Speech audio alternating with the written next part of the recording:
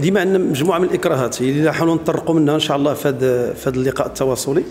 من بين أهم هذه الإكراهات اللي تيعانيوا منها الكتبيين هي البيع داخل بعض المؤسسات التعليمية وهذا الأمر مخالف للقانون 0600 وتنتمنى أن هذه الظاهره يكون تفعيل ديال يعني اللجنة الاقتصادية لجهه يعني لولاية الرباط ولجميع الأقاليم المغربية.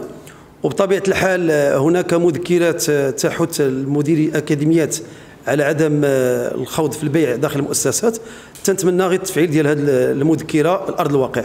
أنا كما قلت أنا هو نورمالمون راه كاين مذكرة اللي تتحث على أن المديرين باش يقوموش عمليه البيع. الإشكالية اللي نحاولوا نناقشوها حتى اليوم إن شاء الله في اللقاء التواصلي هي كيفية التفعيل على أرض الواقع هذا هذا يعني هذا إحنا ما كرناش كجمعية اللي تنطالبوا أن يخرج في البرلمان قانون لتجريم هذا العمل هذا. هو هو الكتب دائما الكتب الوزارية مدعمة يعني الثمن ديالها وقار.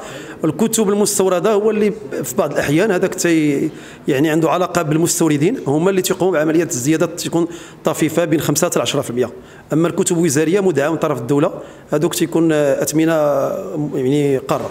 اليوم هذا اللقاء اللي عنده أهمية كبيرة يعني في مجال التدريس بصفة عامة تتعرفوا أن المتدخلين يعني كتار. كاين الوزارة الوصية على التعليم كاين السلطات المحلية الولاية أو العمالة كاين الكتبيين كاين الناشرين كاين المستهلك اللي هو التلميذ والطالب.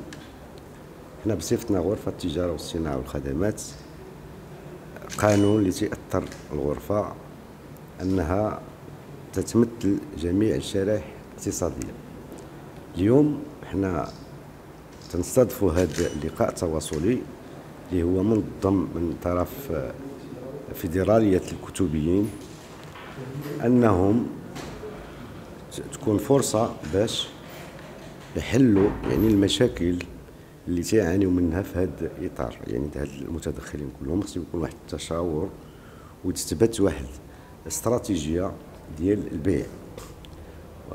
اليوم أن الإخوان ديال الكتبيين آه، يعني تيتشكاو من بعض المشاكل منها يعني البيع الكتاب داخل مؤسسات التعليم الخصوصي.